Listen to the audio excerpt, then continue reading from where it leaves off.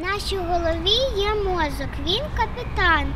І ось тут а спереді в мозку живе мудре совенятко. А ось там ззаді в мозку живе песик або ящерка, яка постійно боїться і сумує, і каже нам втікай. Нам треба навчитися слухати мудре совенятку. Тільки воно може заспокоїти ящерку, яка постійно має сильні емоції.